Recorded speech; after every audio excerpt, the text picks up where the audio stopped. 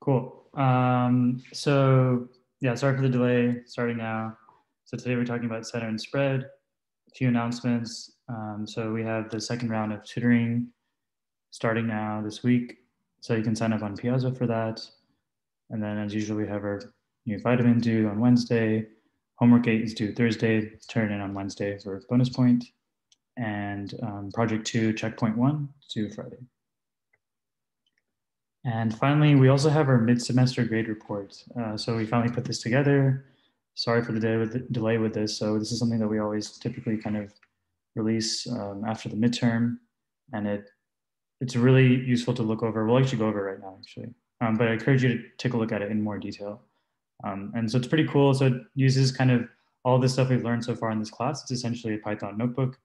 Um, and it reads in the scores from the class. So it's like all the assignment scores, so we have like all the homework scores, lab scores, midterm scores, uh, and then it's used to create the composite scores for the class. So I won't go too much into details of like how all of it works, but you can read through the notebook. Um, it's available there from the slides. And the composite score basically is just calculated using kind of what we've uh, mentioned in the policies. Um, and the first project is not included. Yeah, good question there. So this does not include the first project. Um, and so first of all, here's the composite scores to date.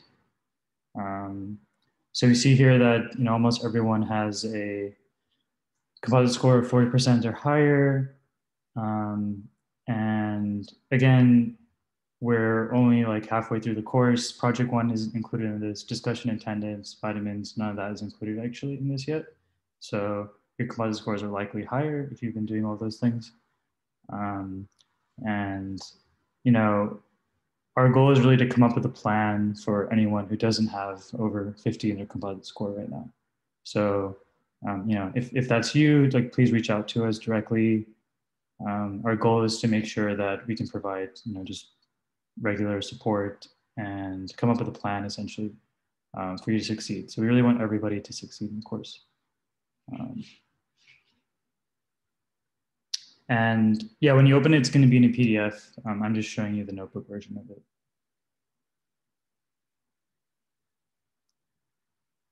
Um, all right, so that's kind of the composite scores. And then last week we learned about percentiles. So we actually went ahead and calculated the percentiles here. So 25th percentile is 74, 50th percentile is 83, and 75th percentile is 89. So these are just composite, composite scores. Um, and we can also look at the midterm scores here. So this is the distribution of the midterm scores. Um, and so it's slightly different. It's a little bit more spread out compared to the distribution of the composite scores. That's typically what happens. Um, and the percentiles here, so 25th percentile is 60, 50th percentile is 72, and 75th percentile is 83. So you can see the percentiles there. So a little bit lower in general. Um, and then we can also see them on top of each other too. So the composite scores are these gold bars, and then the midterm scores are the blue bars. So, you know, midterm definitely more spread out, kind of shifted out a little bit to the left. And so typically what we see happen at this stage of the, of the course is like the composite scores will kind of start moving to the right actually for the next few weeks towards the towards 100 basically. So everything starts moving there as like the projects get integrated and the vitamins and all that. Um, and then with the final score, things come back a little bit too. So that the final scores, things tend to look, you know, a little bit more to the left as well, but a little bit more spread out. But it's just hard to say how things will go. Every semester is a little bit different. Um, and, um, you know, main thing is we understand this is a unique semester, so we'll definitely um, be able to take all that into account and we understand you know this is just a different time for everyone. So we'll certainly be taking all that into account. Um, and so you know a lot of people might be asking like how do you grade come up with your actual um, scores or, or your actual grade? What does the score correlate to and all that stuff? Um, so it's just really hard for us to tell you that right now because it just depends on what happens throughout the rest of the semester. Um, but you know the most important thing is that 75% of the class gets A's and B's. That's typically how it's been, and that's probably how it's going to be, most likely. Um, and so, you know, I think in general, the best is to not focus too much on what the actual grade result is going to be. Just try to focus on your own performance and just trying to do, you know, improve your performance and also just like learning the material. That's really the most important thing. Um, regardless of what grade you get in this class, it's probably going to have very little impact on your actual career. Um, it's really just about learning the material. So, you know, you should consider it a success if you've learned something new in this course. That's really the goal um, and something that you can use later on, um, regardless of, you know, what you end up doing after this. So, um, yeah, with that, I think we'll get back to the lecture itself. Um, and you do have a way to calculate, to actually find your composite score. You can also calculate the midterm score yourself as well using this notebook. So if you go to the notebook, you can calculate your own composite score using your scores, but I believe you also have the composite scores for you. Um, the notebook mentions where to find that. So just take a look at the notebook uh, probably later on after the lecture for more information.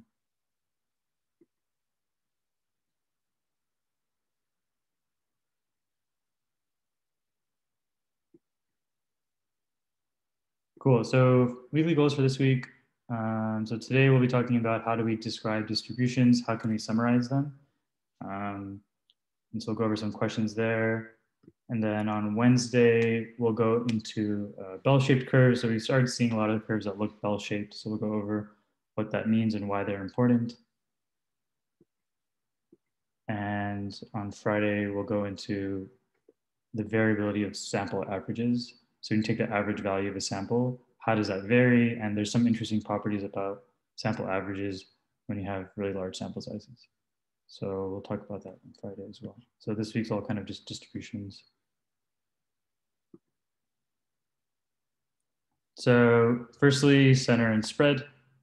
So the main, I guess, motivation for center and spread is to think about you know, answering some of these questions. That's kind of why we're talking about center and spread. So, you know, some common questions when you're looking at some distribution of data or distribution of data like in your sample is, you know, how can we quantify things like what's the center of the distribution or what's the variability of the data that I'm seeing here? Um, you know, why do many of the empirical distributions that we generate seem to come out bell-shaped? So a lot of times when we've done like simulations, right? Uh, typically those simulations, the empirical distributions have look pretty bell shaped, look like a bell essentially. Um, and so why is that? Like, is that just coincidence? We've been seeing that a lot in this course so far. Uh, and then also there've been some questions, many people have asked this question during lecture, but it's, you know, how, what kind of sample size do you need? And how does that relate to the accuracy of your estimate? So you're trying to estimate some thing about a population.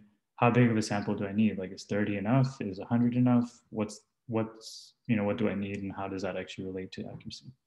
So these are some of the questions that are going to motivate this week's lectures. So the first concept we'll talk about to answer these questions is the average. So one concept, when you when you have like a set of data, you have a distribution, and you're trying to summarize it in some way. If there's like one number you have to pick to summarize a distribution, this might be one of the numbers you might use. And so this is the average. We'll also just call it the mean in this course. And the way you calculate this is basically if you have your data set, so let's say our data set is just four numbers, so it's two, three, three, nine, then the average is you sum up all the values that you have and then divide by the number of values. So in this case, we have four individuals, you could say. So you just sum up all their values and then divide by four. And so that gives us an average of 4.25 in this particular case. And so what's interesting about the average is it's not necessarily a value that's in the collection or in your data set. So in this case, our values were 2339, our average is 4.25. 4.25 actually isn't a value in our data set. So if you had this set of individuals and you said like the average person is 4.25, like that doesn't actually really mean much because there's there is no person in this data set that's 4.25. Um, but it's just the average of their values is 4.25. So that's kind of typically the way to think about it. Um, and then it's also interesting that it doesn't need to be an integer. So in this case, your values could be integers, but then the average is a float essentially. So that can also happen. Um, and again, that's because we're dividing by something. And typically, I mean, always your average is going to be between the minimum value and the maximum value. So in this case, it's going to have to be between two and nine because two is the minimum value, nine is the maximum value. But it's not necessarily halfway in between. Um, so we'll go to some examples of what that means and why that is. But your average isn't necessarily like the midpoint of your data because if you have some really large values on one end, that pulls the average out. So we'll see some examples of that. Um, and the, what's also interesting about the average is it has the same units as our data. So if like our data set here is in um, like pounds or something, then the average is also going to be in pounds. So it's a it's useful that way as well. Um, and then I wouldn't worry too much about this one, but sometimes this is called a smoothing operator. So it's kind of a mouthful there, but basically what it's saying is that um, if you have like a lot of values in your data, it's kind of like smoothing out your data. So it's like summarizing it with one number essentially um, in, in, in, a way that is kind of taking into account everybody's contribution, you could say. So like the two, the three, both threes and the nine, they're all taken into account when we calculate this average. None of those values are ignored. Um, and then they're also summarized with this number. So let's see some examples of how we can actually calculate um, the average here. So let's, we're going to take the same values that we already had. And so one way we can calculate it is using the definition. So the definition of the average is just sum up the values and then divide by the length. So sum of the values divided by how many there are. So if we do that here, we get 4.25 as expected. Another way you can take the average of a set of numbers is just use uh, NumPy. So you could do np.average so again, NP is referring to NumPy. So you could do np.average values, we get the same thing. Um, you can also do np.mean. So mean is essentially equivalent. Um, so that's also gonna give us 4.25. And then if you wanted to do it like basically how we did it by hand um, in the previous slide, you can actually just write out the values too. So you could say two plus three plus three plus nine, sum all that up, divided by four. So these are all equivalent, all of these four ways of doing things. Um, in practice, you probably won't want to do it this way because this last way, you might make a mistake, accidentally type like a four instead of a three or something. So I would recommend probably these two in general. Um, and then another way actually that you can do it to think about it is, is um, if you distribute this divided by four to each number, um, then you can do like this. So you can say two times one fourth three times two fourths because there's three comes up two times, and then nine times one fourth. So that's just another way of doing it.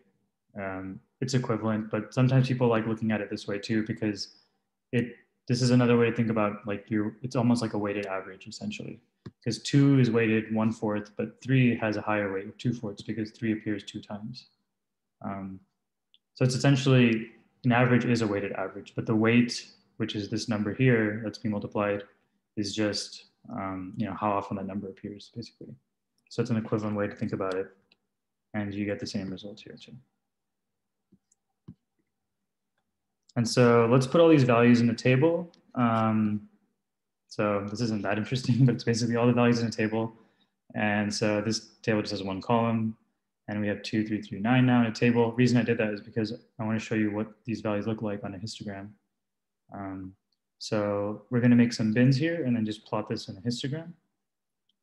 And so we see here, we have, you know, this bar at two, and then we have a bar at three that's twice as tall, and then a bar at nine out here. And so if you remember, the average is 4.25. So the average is actually like somewhere around here. So it's interesting because when you look at just these numbers, you know, the midway point between these numbers is maybe like a little bit closer to nine or something like that. But um, 4.25, it's a lot closer to these values here. Um, that's just because you have a lot more values here. Um, but then the nine kind of like pulls the average out. So if instead of a nine, we just had like a four here, then things would have been symmetric around three and three would have been our average. But the nine brings the average out. So even though like most of our values are just around here, two and three, that's most of our values, but the nine that's out here pulls things out. And so that's why our average moves out to here to 4.25. And so another way to think about it, which is really common, is if these are actual like weights, these bars are weights on like a scale, then the mean is where you would have to put um, kind of the lever at the bottom to make sure like the scale balances um, properly. So this is kind of where we'd have to put it to balance the scale. If we put you know something out here, then things would tip over to the left because there's too much weight here. If we put something right at three, it would tip over to the right because this weight out here is going to drag things down a lot more than the weight that's right next to the middle. So 4.25 is kind of like the, the balance point. So that's another way to, another way to think about it. Um, and then what's also interesting is we had two, three, three, nine. If we have the same values, but like, let's say we bump up how many times they appear, but proportionally. So let's say instead of one, two, we have 10 twos. Instead of two threes, we have 20 threes. Instead of one nine, we have 10 nines. We can make a similar table um, like that and draw a histogram. And that histogram is going to look essentially the same because it's the same proportion of values. Um, and then the average is also going to be the same here too. And so really that, that same principle holds where like 4.25 is kind of the balance point. So um, that's the main thing to kind of keep in mind here is it's, it's less about like how many values you have, but it's really more about how many times does each unique value come up. That's really what matters. Um, and it's interesting because I mentioned unique values a lot, and that's because that's what a distribution is. It's basically like plotting the number of times each unique value comes up. That's essentially distribution. And so um, an average is basically, you know, taking the average value, but accounting for how many times each unique value comes up. So if a certain value comes up a lot more often, it's going to contribute a lot more to the average. So any questions about averages uh, before we continue?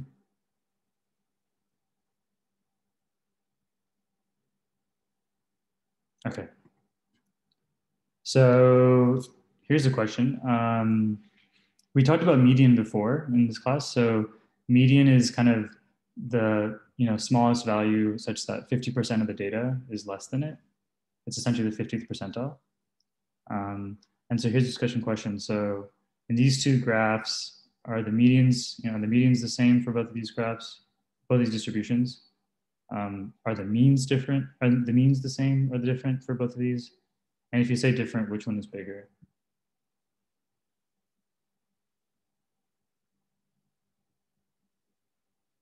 So some people saying the same.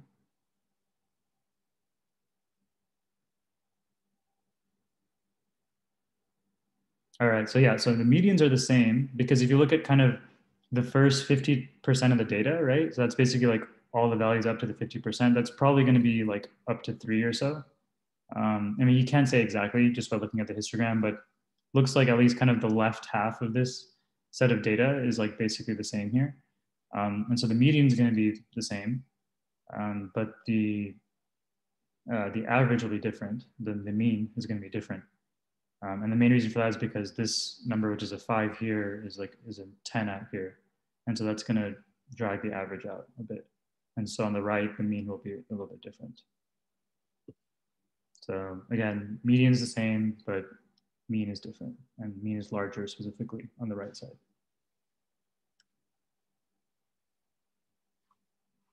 Cool. So yeah, this is just kind of a breakdown of both of the two measures here. So mean is the balance point of the histogram. So like that's where you have to put something to like ensure that the whole histogram stays on balance, doesn't tip over um, whereas the median is just the halfway point of the data.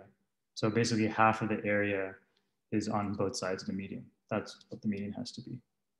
Um, and if the distribution is symmetric about a value, so symmetric means that like both the right half and the left half look exactly the same, like from the middle of it, then um, that means that the, the mean and the median are the same. So that's what that would mean. So if we go back to this um, discussion question, this histogram on the left, this is actually symmetric. So if we draw the middle point, which is like here, three, then everything to the right of the middle point, everything to the left, they look exactly the same. They're just like mirror images. And so this is symmetric distribution. And so in this case, the median is gonna be the same as the mean. Um, and then if the histogram is skewed, which means like, when it's skewed, it means like there's, it seems like it's sticking out a lot more on one side compared to another um, then the mean is pulled away from the median in the direction of the tail. So visually, that's this graph on the right. So this histogram if you look at kind of the midpoint in terms of area, like 50th percentile is probably going to be at three here, just like the last one. Um, you have this bar the same area, but now it's that bar is dragged out to 10. So that's this is considered a tail. So it's like it kind of goes down and to the right, whereas the left one just goes down pretty sharply, but the right side goes like down to the right. And so like slowly. And so that's this is considered like a tail essentially, and skewed. Um, and so because of that, the average is going to be dragged out as well. Um, and so typically the, the, way to think about it is like if you see a histogram with a bunch of data near some region and then you see like one or two points like way out somewhere, they're probably going to move the mean in that direction. So the mean is influenced by like those outliers essentially. Um, whereas uh, medians are not. And so someone pointed out the median is the 50th percentile. That's correct. That's actually the basically the definition of median is, is 50th percentile. Cool. All right. So now let's go to standard deviation. Um, so if you haven't heard that before, no worries. But basically the idea um, here is we, we now know how to think about what's the kind of center of our distribution. We just take the mean. That's how we can think of what's the center. That's the balance point. All right. So balance point, mean, center. Um, and so that's a good way to describe a distribution. But if I have some data, if I have two different data sets and they have the exact same mean, that still doesn't really tell me like how they compare to each other because one might vary a lot more than another. Like if I have a certain set of data where the mean is like five and like all the values are just around five, that's very different than a set of data where the mean is five, but like the values vary a lot. And they could be as high as like 20 or negative 20 or whatever. So just looking at the mean isn't quite enough. It's also useful to get a sense of like how wide is, is this distribution? Not just where is it located, but like how, how does it vary? And so that's the idea here. Um, and so one idea you could say is if we want to define the variability distribution, one thing we could do is, well, we could just take the biggest value and then subtract the smallest value. Like that could be one way to do it.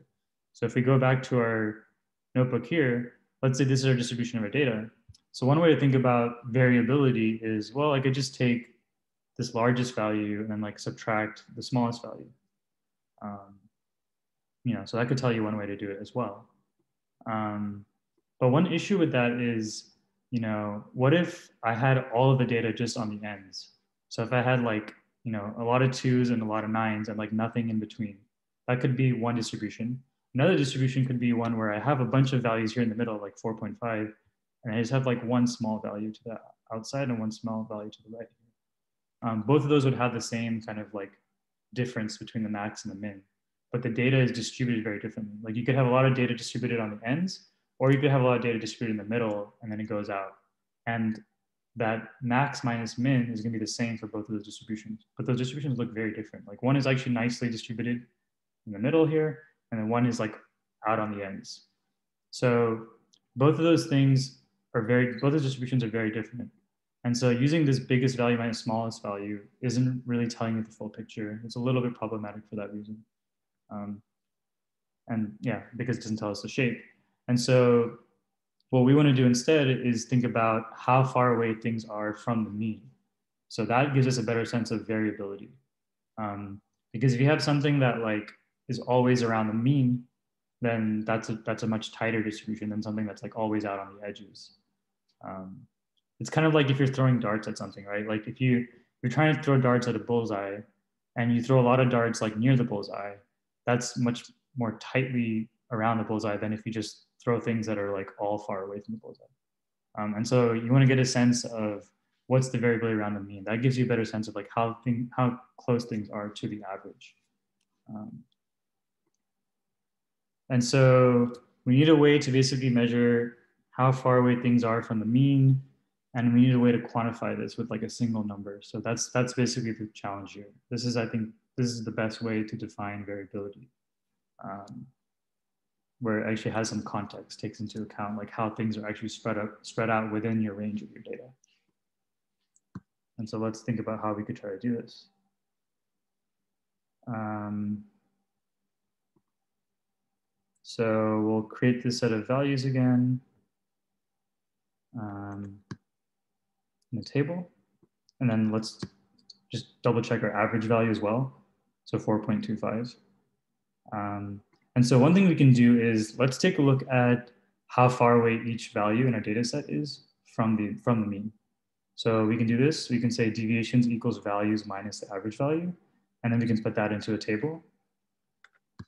Um, and so here we have our values, two, three, three, nine. And then now we also have another column which tells us how far each value is from the mean. So two is negative 2.25 away from 4.25. And then three is negative 1.25 away from 4.25. And then nine is positive 4.75. So this is basically telling you how far away things are. Um, and so nine, for example, is like really far away. Two is like kind of far away, but not that far away. And it's far away in the negative direction. Um, so this is kind of giving us a sense of, you know, how far away things are. Um, and so now that we know how far away things are, we need to come up with one number. So like, what's one way I could come up with one number to summarize like these deviations? Like I know how far away each number is. Yeah, let's take the average value, right? So um, we could do sum deviations divided by length deviations. So here we get zero. So that's kind of interesting. Um, so the average deviation is zero. Like that's kind of funny, right? Um, let's see what's going on. So let's take away the length and let's just sum up the deviations. So that's also going to be zero actually. Um, and the reason that you get zero is because if you remember, um, what, what we're doing here is deviations is values minus average value. But average value is already the sum of deviations, or is, is already the sum of these values divided by the length. So if you're just trying to take the average of this, it's going to basically be zero. Um, so average of your deviation is actually always going to be zero. This is true for any, uh, any distribution. So we can't actually do that. So some people are suggesting maybe we could take absolute value. Uh, some people are saying we could maybe square the values. Um, so let's actually try to square the values. So we'll try to do that instead. Um, and so the reason we might square them is because that makes them positive. So this deviation of negative 2.25, that becomes positive 5. And then this deviation of negative 1.25, that becomes positive 1.56, um, and so on. And so now we've squared them. Now they're, they're positive. They're larger than they were before, but it's all relative anyway. So, you know, we're still preserving that like nine's really far away because 4.75 is a lot bigger than these numbers. That's still the case over here, 2.2, 2 point, uh, 22.56, still really far away. Um, so now we have a way to kind of quantify how far away things are squared. Um, and then what we could do now is now let's try to take the average.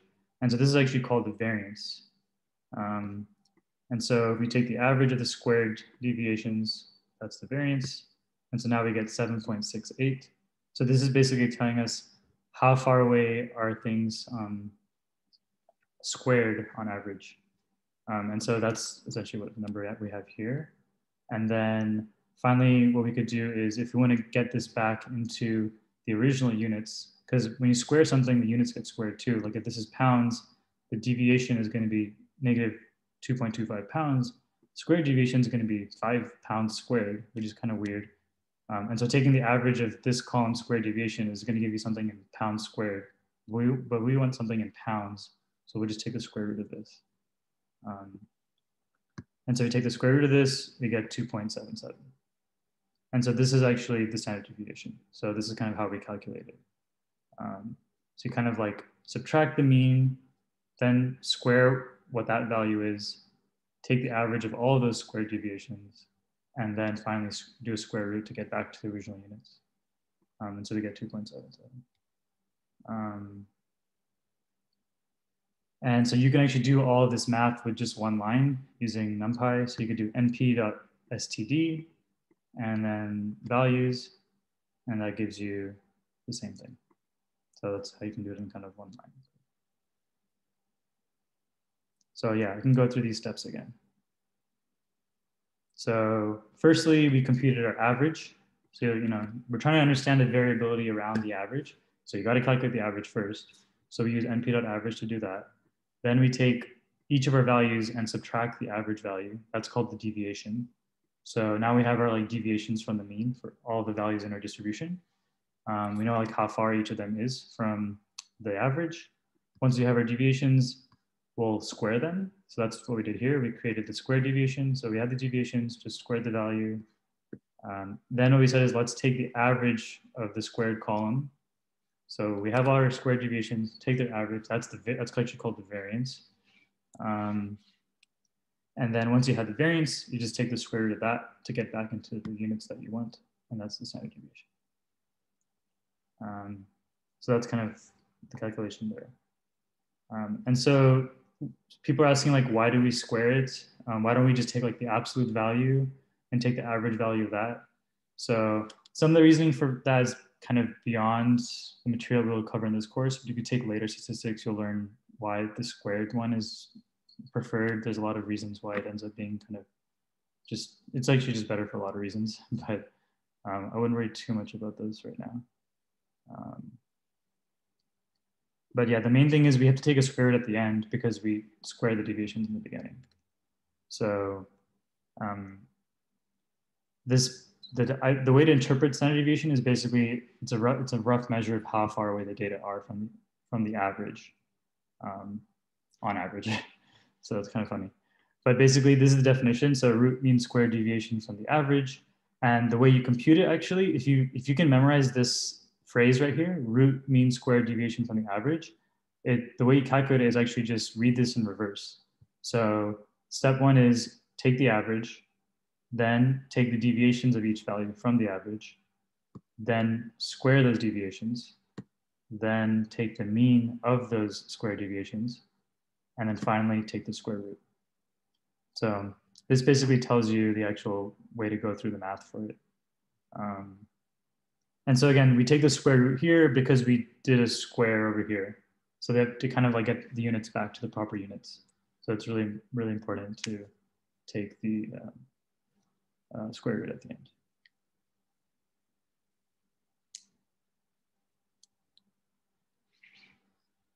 Um,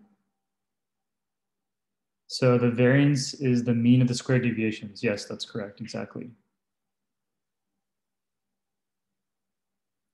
Um, yeah, I can repeat that again. So basically, the way we do the math to calculate standard deviation is the definition, but just backwards. So the definition is root mean square of deviations from the average. So if you wanted to actually calculate the standard deviation of some new data set, first thing you do is find the average value of the data set. So you could use np.average to do that. If, if it's not that many numbers, you can actually just like count up all the, like sum up all the values, divide by the length of the number of values. So that's the average. Once you have the average, then you calculate the deviations from the average. So take all of your values and subtract what the average is um, from each individual value. And then once you have those deviations, which is like how far each value is from the average, square that value. So square that for every row in your table. Um, once you have the square deviations, now you just take the average of those square deviations. That's the variance. Um, and once you have the average of the square deviations, just take the square root at the end. So last step is just square root that single number that you have now. Um, so basically an average gives you like one number the deviations, you're going to have as many deviations as you have rows. So you have like 100 rows in your table, you're going to have 100 deviations. And then you're going to square all those 100 deviations. So again, you're going to have like 100 squared deviations. And then once you take the mean of that, you're just going to have one value now, which is your average squared deviations. Um, and then now that you have that one value, just take the square root. That's the last step. Um, so someone said you take the average twice. Yeah, that's technically true. You take the average once to compute the average of all your values, and then you take the average again, which is the average of the squared deviations. Um, because the idea is we don't want to just, we want to understand how far away things are from our mean, but on average, because every value has a different distance from the mean. Like some values are close to the mean, some values are far from the mean. So we just want to get a sense of like how far is our data from its mean on average. So that's kind of why it's taking two averages. Um, and so why do we use the standard deviation? So there's two main reasons. Um, the first is that there's some interesting properties about the standard deviation. So no matter what the shape of the distribution is, no matter how it looks, whether everything's clumped in the middle or everything's like out to the sides, uh, the bulk of the data is going to be within the average plus or minus a few standard deviations. This is just a property um, about statistics. Um, and so we'll go over like an actual law about it. It's pretty, pretty interesting. Um, and so the standard deviation kind of gives you a really good way to make like guesses about where most data should be, regardless of what the distribution looks like. So that's very powerful and very helpful. Um, and the second reason is something we'll go over in the next lecture. So going into kind of that first reason that we mentioned, which is, you know, uh, being able to kind of understand something like a distribution using just the standard deviation and the average. So this is a property called Chebyshev inequality. Um, and so the idea is no matter what the shape of the distribution, um, the bulk of the data are going to be in this range, average plus or minus a few SDs. And specifically, um, this is the way, there's actually a mathematical formula for this. So basically what this is saying is the proportion of values that lie in the range average plus or minus z SDs is at least one minus one over z squared. So if you want to know like, let's say z is two. So that basically means that the proportion of values that are within two standard deviations of the mean is going to be at least one minus one over two squared. Um, so basically that's three fourths, 75%. 75% of the data is within um, the, the, two standard deviations of the average. And so this just shows the values for different values of z. So um, for any distribution, if you know its average and you know its standard deviation, then within three standard deviations, you'll have at least 88% of the data. And so the way you calculate that, it's one minus one divided by three squared. So three squared is nine, so you get one minus one ninth. And then for four standard deviations, do the same thing, but here you get one minus one sixteenth.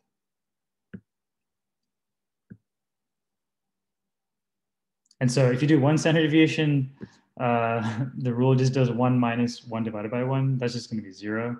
So at least 0% of the data is within one standard deviation. So that's not that helpful. You already knew that probably.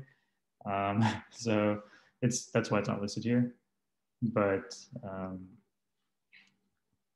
yeah, but basically we're just, what this is saying is you, your data set, it has some average and it has some standard deviation.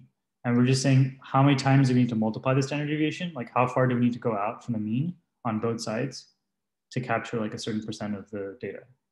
And so all this is saying is like, if I take the average and then I add two standard deviations to the right and two standard deviations to the left, then at least 75% of the data is going to be within that range. That's what it's saying. Um, and they hold for any distribution. And so someone said, how do we know how many to use? Um, so typically like you'll be, you'll be asked a question like, okay, I want to, I want to have at least like, I don't know, 90% of the data. So like how many standard deviations out do I need to go to get at least 90% of the data? Um, in this case, you would want to go four standard deviations because 93 is kind of above 90%, whereas 88 doesn't guarantee 90%. So um, that's like one way that you might be asked the question about this. So let's actually see this in the demo. Um, so let's go back to our data set of all the babies that we were working with last week. Um, so this is the one where like some of the moms had smoked, some of them had not. And so let's actually take a look at the distribution, um, empirical distribution in this data set of all the variables um, in, this, in this table. So first up, we have birth weight. So birth weight looks like it's mostly like centered around 120, and then it kind of spreads out to both sides. It's like almost symmetric, basically. Um, we have gestational days, which is also like basically symmetric, although it looks like there might be some values out here that aren't shown because they really only appear a few times. Um, maternal age does not look symmetric. So maternal age has this tail going out to the right. Um, and so for this one, you know, probably the median is like somewhere around 25, but the mean is going to be, you know, greater than 25 because it's going down to the right. Um, and then maternal height, uh, this one is, seems like it's kind of symmetric here, centered around 63, 64-ish. And then finally, we have maternal pregnancy weight. So this one also looks kind of like the other one that we saw above where it's not symmetric. So there's a kind of a tail going out to the right. And so again, for this one, the median is probably around 125-ish, but the mean is greater than that because we see that there's a tail to the right and that's going to drag out the average. So these are just some examples of distributions. Um, and so one thing we can do is let's focus on maternal pregnancy weight. So we have this, this last graph here essentially. Um, and so let's take a look at the mean and standard deviation. So the mean is 128 here. So a little bit past 125, kind of what we expected to see. And the standard deviation is 20. So what this means is um, on average, we can expect the maternal pregnancy weights to be um, 20 um, you know, pounds, I guess, away from 128. That's like on average. Um, some people are going to be more than that. Some people are going to be less than that away from 128. And so let's check whether um, Chebyshev inequality actually works properly here. So let's take all the births where the maternal pregnancy weight is between um, three standard deviations below the mean and three standard deviations above the mean. So we're going to call this within three SDs. And then let's count up how many people in this data set are actually within three SDs. What's the proportion? So in this case, 98.6% uh, of the women in this data set um, had a maternal pregnancy weight within three standard deviations of the average um, of this data set. So again, standard deviation, average, that's all relative to our sample itself. So all we're saying here is that like 98.6% of our sample is within three standard deviations of um, the average of the sample. And so it's just giving us a sense of like how close things are, how far away things are apart. Um, and so if you want to check this with Chebyshev's bound, um, Chebyshev says that, okay, we're looking at three standard deviations. So the, that means we need to do one minus one divided by three squared. So one over nine essentially. Um, and so this proportion gives us 88.8%. So Chebyshev is basically saying, before we even look at the distribution, Chebyshev is saying 88.8% of the data should be within three standard deviations. And it turns out 98.6% of the data. So this is correct. It was at least 88.8. So it is actually correct here. Um, so this is just showing you like a case of where it's actually correct. Um, and should always be correct, but um, so let's just stop for a couple questions there.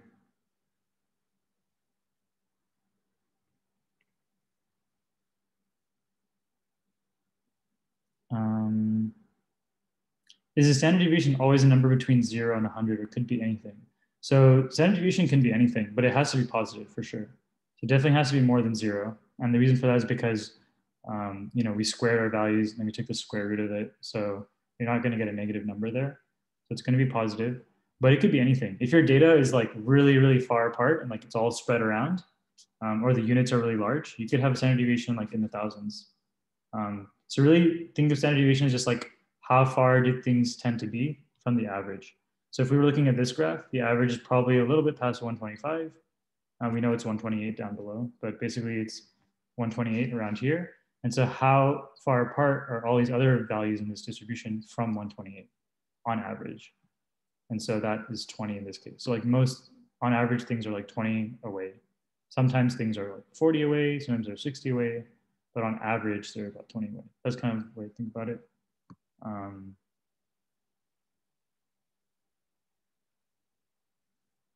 And so why is it three times SD? Uh, that's just how we, that was just arbitrary. We wanted to just check three standard deviations. You could, you could have checked two if you wanted. You can check with whatever you like, um, but we specifically wanted to check three. So we just wanted to see how much data actually is in within three standard deviations. And then we wanted to compare that to what the Chebyshev's formula would have predicted. So Chebyshev's formula basically says at least this much data should be within three standard deviations. It turns out 98.6% of the data was within that. So the idea of Chebyshev isn't really to actually give an accurate prediction. It's just telling you like at least this much data is going to be within um, within this range.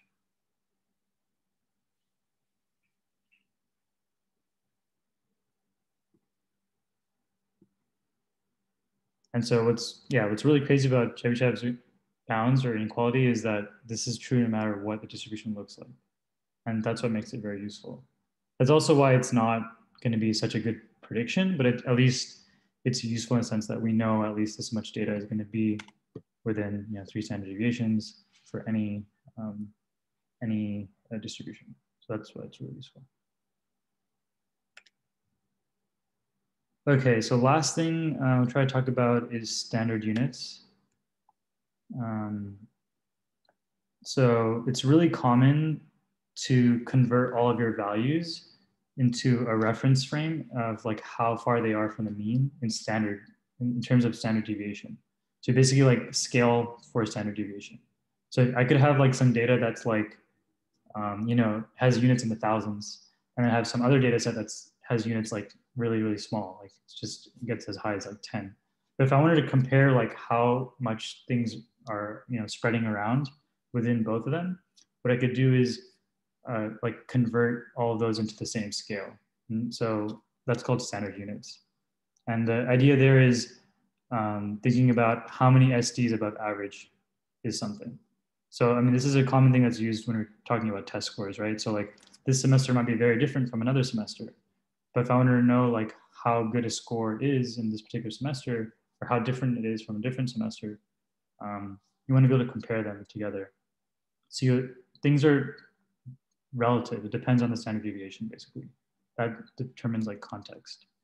And so if you wanted to understand like how many standard deviations things are from the average, that's something that is going to be the same on the same units on the same scale, no matter which distribution you're looking at. So it, basically allows you to compare things from like different distributions. Um, and so the way you calculate this is typically we call it Z. Um, and the way it works is you just take whatever value you're interested in, subtract the average, and then divide by standard deviation. So again, value minus average, that's just deviation. We went over that before. So all we're doing is we're taking our deviation of this value from the average and then dividing it by the standard deviation. Um, and so this makes it kind of this like, it's a, now it's become kind of this like universal deviation rather than a specific deviation that depends on like your units and like how big your, your specific values are for this data set. Um, and the way you can interpret the results is like negative z basically means the value is below the average, positive z means the value is above the average. The closer z is to zero, the closer your value is to the average. Um, and so when values are in standard units, then your average is going to be zero in standard units. Because if I just plug in average into this value on the left here, I'm just going to get average minus average, that's zero. So that's the nice thing about standard units. It converts all the all of your values into something that has the scale where like average is zero, and then also the SD is exactly one. So that's also kind of interesting about this too. And so with Chebyshev's inequality, what this is it's going to say is if you convert your data into standard units, then at least 96% of your standardized values are going to be between negative five and five. That's what this means. And so this statement is really powerful because this applies to any distribution. So if you take any distribution and then convert all the values into standard units, this property is going to be true. Um, and so we can do a quick demo of this. So this is how we actually calculate standard units. So we've made a function here called standard units. Um, and the way it works is you take your value x, subtract the average, so np.mean, and then divide by the standard deviation, np.standard x. So that's our function. And so we could actually do this for um, one of the columns in our table. So let's take maternal age, and then let's convert age into standard units. Um, and then we can take, once we've converted to standard units, we can just take a look at the mean and the standard deviation. Um, and so when we look at the mean of, of age in standard units, we get negative 7.86, but then it's like times 10 to the negative 17. So basically that means zero. So this is essentially zero. And then um, the standard deviation is one now. And so what's cool is this is going to be the case no matter what column we choose here. You could choose any other column and run it through these lines of code. And the average is going to be zero and the standard deviation is going to be one. And that the reason that's important is because it's then going to allow us to compare the two distributions. Um, so we'll go over in the next lecture, like how we actually compare that, why that's useful. Um, and we'll, we'll review this in the next lecture as well but that's mainly kind of the power of standard units is that you can start to compare distributions that are on completely different units with completely different scales. Um, but you can still get a sense of comparing the shapes and things like that.